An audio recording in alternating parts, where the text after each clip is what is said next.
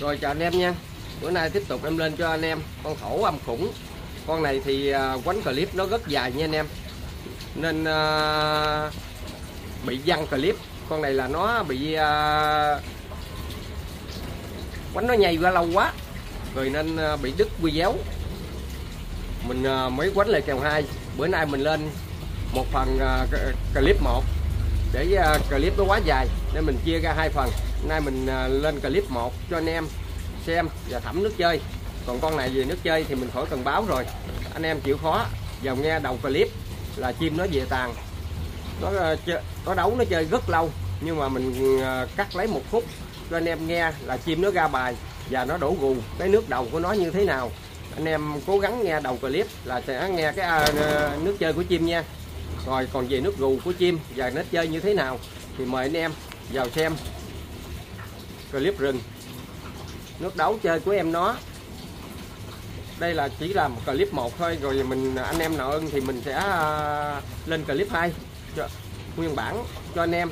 Bởi vì mình quánh kèo đầu là nó bị à, điện thoại nó hết pin, nó văng ra. Rồi nên chỉ à, cũng đâu một tiếng mấy gì đó mà mình lấy lại là mười mấy phút mình đưa lên cho anh em xem và thẩm nước chơi và tham khảo. Anh em ưng thì alo Q69 số điện thoại ở phần tiêu đề hoặc là trên màn hình để cho anh em gọt mồi hay là nuôi cảnh nuôi kiển siêu tầm gì đó thì cứ vào alo mình để đón.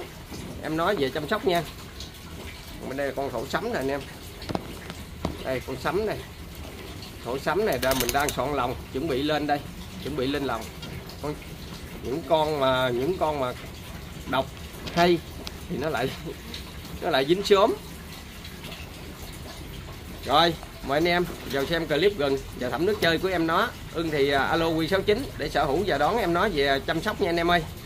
Con thổ âm khủng tuyệt vời luôn. Con này thì cái nước rước và cái nước gù của nó thì mời anh em vào xem rồi anh em sẽ tự thẩm. Ưng thì cứ alo Q69 để sở hữu và đón em nó.